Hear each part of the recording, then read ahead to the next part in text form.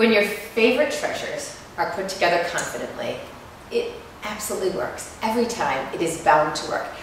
I'm sure you've got a mix of goodies somewhere in your house that you can pull together and turn into the most spectacular vignette. It's one of the number one questions I get all the time is how do I take my things and pull them together in interesting ways? I will share a vignette in our home, hopefully that will inspire you. Okay, this is it.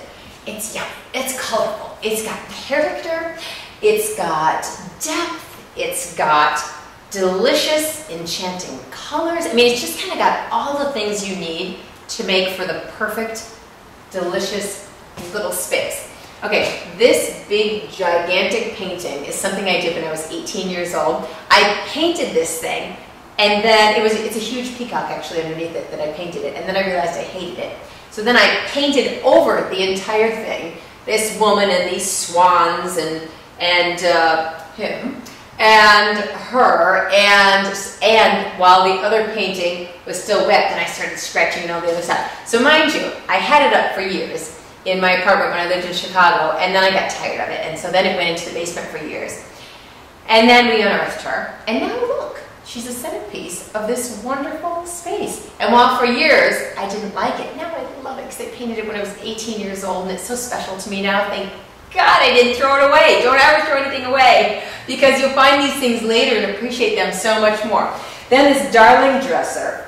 The color of it is so good. It's good to find some pieces of color. I mean, if you're not painting your rooms some delicious color, then at least find some furniture that gives you some pops of color. And if you're not buying one, then get to the paint store and buy a can of something good and slap it on there because you'll have something beautiful then a great centerpiece. These gold lamps are interesting. I love that there's a pair of them. I love that they're funky and modern and kind of 70s, and I think they pull the whole thing together. And yes, this is small and the lamps are big, but the whole thing works. It's just kind of more interesting and, you know, European. A little tray with some goodies on it is always great. A marvelous painting layered over a painting. You could do 20 of those in a row and it would work. It just works. It's just so attractive you know, a big old basket thrown next to the side, a little garden statuary. You know, I actually, this is a functional piece for us because I keep all of the um, blankets and things that we drag out to our patio in here. So not only is this one of my favorite vignettes and beautiful,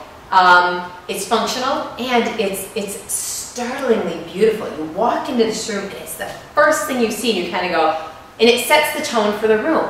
It's interesting. And I want our home to be interesting. I want our home to be about us, and I want it to be interesting. Don't you? Isn't that what you want? Cause I've got the world in my arms, I've got